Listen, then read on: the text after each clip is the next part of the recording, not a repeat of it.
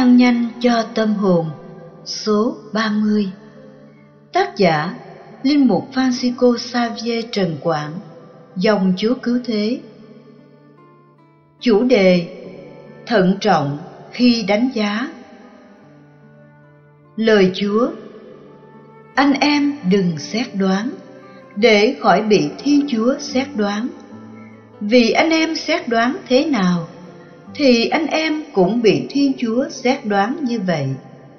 Matthew chương 7 câu 1 tới 2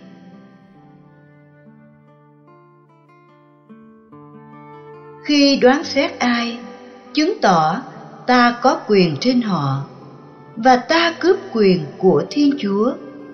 Vì chỉ có mình Thiên Chúa đấng ra lề luật là có quyền xét xử.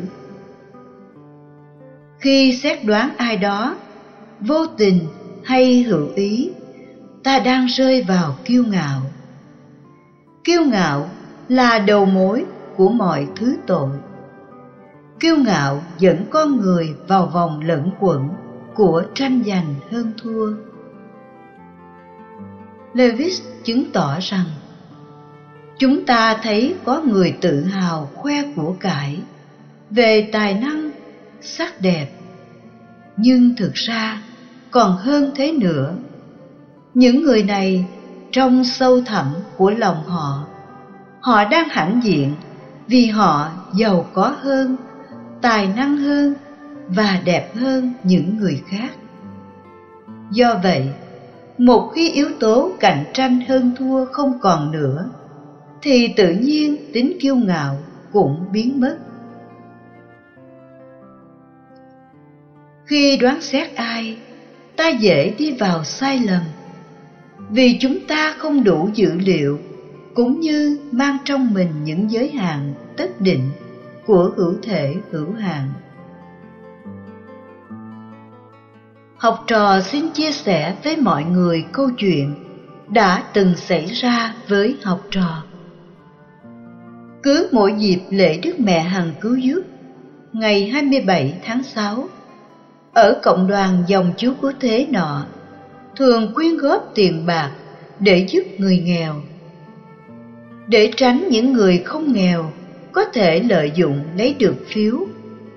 Học trò và các cha, các thầy đã khảo sát, tìm hiểu rất kỹ và trao phiếu tận tay các người nghèo thật sự. Bảo đảm một trăm phần trăm những người nhận phiếu phải là người nghèo đích thực.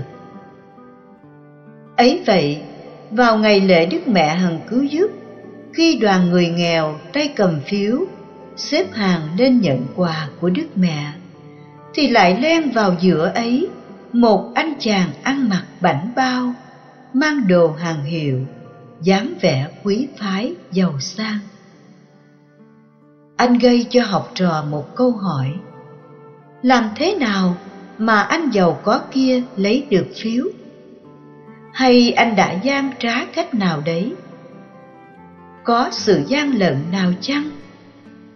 Thế là học trò tiến đến gần anh, để vờ bắt chuyện và hỏi thông tin. Có lẽ đọc được ý nghĩ nghi vấn của học trò, nên anh đã nói trước. Ông hàng xóm nhà con là người tàn tật, và hôm nay lại bị sốt nặng nên con đã tình nguyện cầm phiếu của ông để đi lấy đồ giúp ông. Ôi, đoán xét của học trò đã sai.